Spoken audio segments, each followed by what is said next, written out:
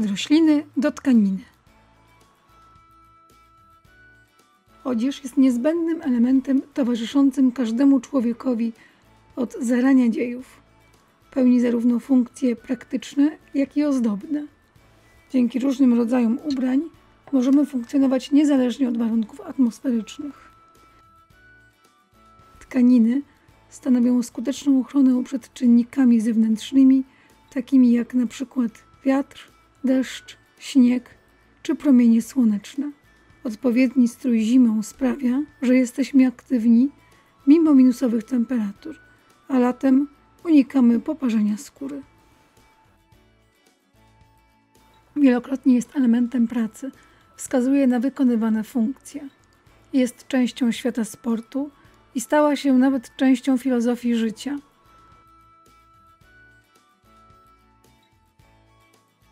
Ubrania podkreślają także naszą osobowość, charakter, wyrażają nastrój. Sprawiają, że gdy tylko mamy ochotę, wyróżniamy się z tłumu lub się z nim zlewamy. Od wieków podkreślają figury kobiet i mężczyzn, stanowiąc niemal drugą skórę. Potrafią optycznie manipulować naszym wyglądem. Umiejętnie dobrany strój może podkreślić nasze walory, ale także pomaga zamaskować niedoskonałości. Materiał, kolor, wzór, faktura, krój sprawiają, że każdego dnia można wykreować swój wygląd od nowa. Ubrania należą tylko do świata ludzi. Czasem pełnią role przyziemne, pomagając tylko w wykonywaniu codziennych obowiązków, ale czasem stają się częścią sztuki i artefaktem. Strój pełni także bardzo ważną rolę społeczno-kulturową.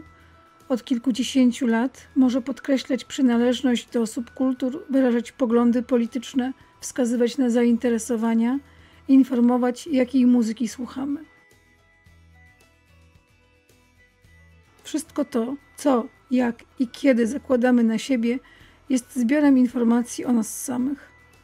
To, czym przystrajamy swoje sylwetki, jest informacją, gdzie mieszkamy, jaki mamy zawód, ile mamy lat, wskazuje na nasz status społeczny. Jest zatem bardzo ważnym komunikatem, który jest niejednokrotnie ważniejszy niż tysiące słów. Nie bez powodu powstało powiedzenie: Jak cię widzą, tak cię piszą. W dzisiejszych czasach coraz większą wagę przykładamy do tego, z jakich tkanin uszyte są ubrania, które kupujemy. Z każdym dniem rośnie również świadomość, w jakich warunkach są one produkowane. Jednak czy zastanawiamy się, jak powstawały tkaniny, zanim na dobre rozwinęła się w pierwszej połowie XIX wieku produkcja przemysłowa? Jak radzono sobie, gdy nie było specjalistycznych maszyn służących do ich wyrobu? Jedną z ważniejszych dziedzin przemysłu na dawnej wsi była wytwórczość włókiennicza. Korzystano z rodzinnych zasobów. Rozróżniamy dwa rodzaje tkanin: tkaniny pochodzenia zwierzęcego, wykonane z wełny owczej.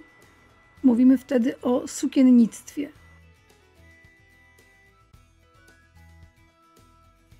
Lub roślinnego, wytwarzane z lnu i konopi. Mówimy wtedy o płóciennictwie i powrzoźnictwie.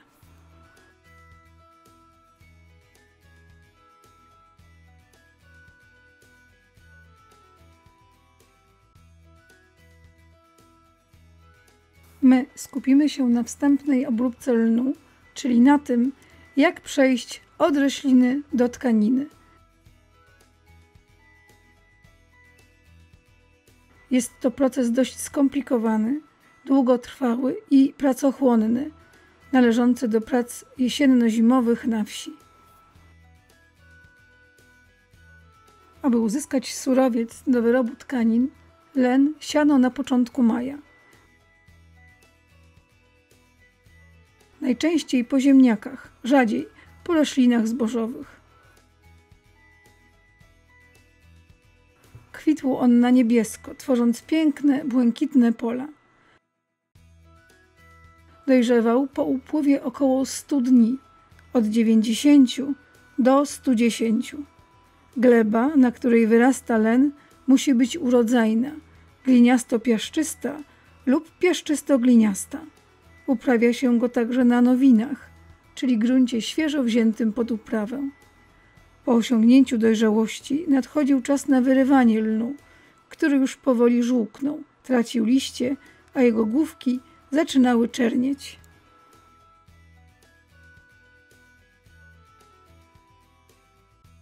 Po wyrwaniu należało oddzielić słomę od główek. Do tego celu służyły drewniane ławy z metalowymi grzebieniami, nazywane dzierżgoniem. To przez nie wyczesywano słomę. Główki starannie zbierano i znajdujące się w nich drogocenne ziarenka przerabiano na olej lniany.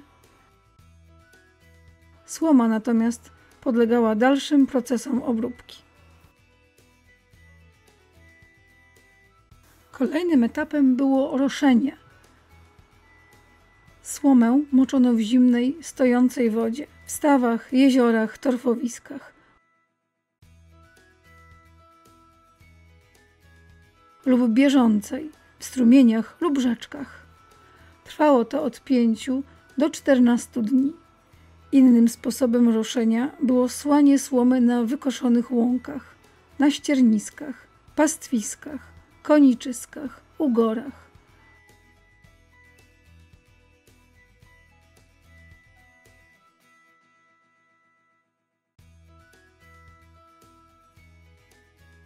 Rosa, deszcz i odpowiednia wilgotność powietrza decydowały o prędkości procesu. Trwało to od 6 do 8 tygodni. Na moczydła wybierano miejsca płytkie, przy brzegu. Im głębiej, tym temperatura wody jest niższa i proces roszenia się wydłuża. Płytszy zbiornik szybciej się nagrzewa, przyspieszając cały proces. W miarę możliwości nie roszono w wodach bystro płynących, ponieważ słoma odpływała lub była zanieczyszczana przez nanoszony piasek. Roszenie likwiduje w wodzie bakterie tlenowe, dlatego też omijano wody, które stanowiły naturalne miejsca do pojenia zwierząt oraz silnie zarybione. Im czystsza woda, tym lepiej. Oba sposoby, moczenia i słania, miały na celu rozmiękczenie słomy. Czynności te wykonywano we wrześniu. Po wyciągnięciu z wody należało słomę wysuszyć. Ustawiano len w kaptury, aby słońce i wiatr mogły je osuszyć. Dosuszano słomę także w piecach chlebowych, piekarnikach a także w specjalnych piecach do suszenia lnu.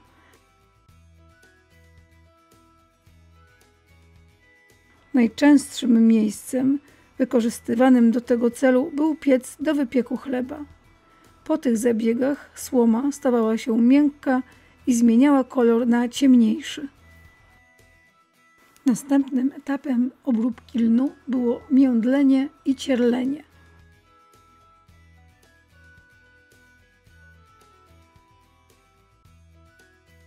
Do tych czynności należało użyć międlicy i cierlicy. Dzięki międlicy wstępnie dokonywano łamania drewna łodygi. Za pomocą cierlicy można było dokładniej pozbyć się zdrewniałych części, paździerzy.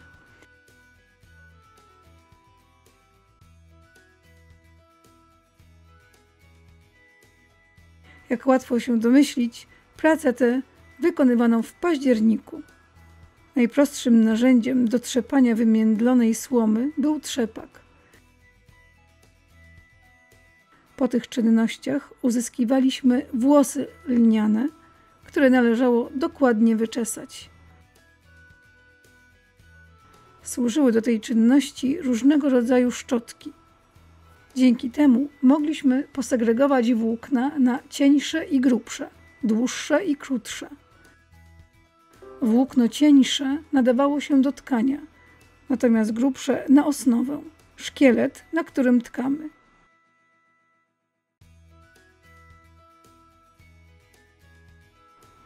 Resztę stanowiło włókno krótkie, zwane pakułami. Praca na świeżym powietrzu dobiegła końca. Dalsze prace miały miejsce pod dachem, w domach, stodołach. Nadchodził czas na przędzenie. Pomagały w tym kołowrotki, które pojawiły się w Polsce w XVI wieku. Wcześniej funkcję tę pełniły wrzeciono i przęślica.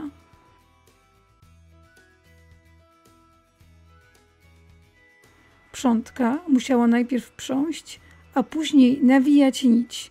Kołowrotek bardzo usprawnił pracę, ponieważ można na nim jednocześnie wykonywać obie te czynności. Początkowo kołowrotki były poruszane ręką, później za pomocą pedału nożnego. Wykonywaniem kołowrotków zajmowali się najpierw kołodzieje, później specjaliści. Uprzędzoną nić należało przewinąć z kołowrotka na motowidło. Dzięki temu urządzeniu można było nie tylko wysuszyć przędzę, ale także ją zmierzyć. W motowidle był licznik. Przyrząd ten ułatwiał pranie, farbowanie i przechowywanie pasm lnu.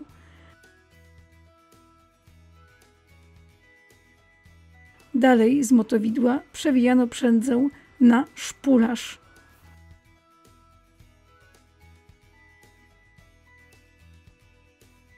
Aby zacząć tkać na krośnie, należało przygotować osnowę, czyli rusztowanie, na którym tkamy. W tym celu szpulę z nicią osnowową umieszczano na grotownicy dwurzędowej. Z grotownicy nici przewijano na snowadło przed deszczułkę, specjalną deseczką z otworami.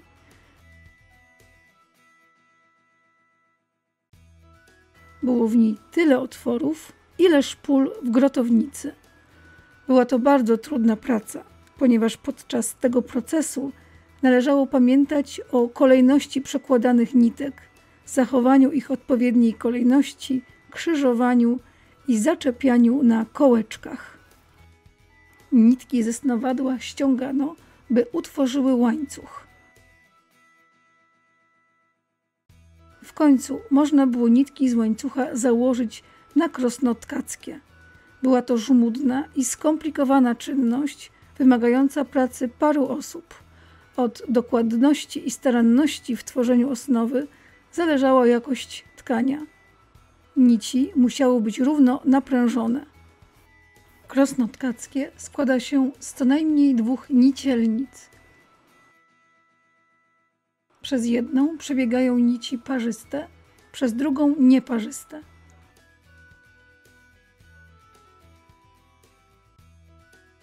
Mogą być oczywiście krosna wieloosnowowe. Powstają wtedy bardzo skomplikowane wzory. Na dole krosna znajdują się dwa pedały, każdy połączony z jedną nicielnicą. W ten sposób nicielnice poruszają się w górę i w dół. Pomiędzy powstałą szczelinę przesuwamy czułenko z wątkiem. Po każdym ruchu należy dobić płochą nitkę tak, aby tkanina była zwarta. Bez zmiany pedału nitka się pruje. W ten sposób można tkać na krośnie. Tkactwo należy w Polsce do tak zwanych zawodów ginących.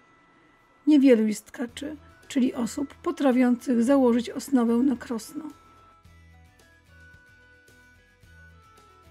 Są to umiejętności coraz rzadsze.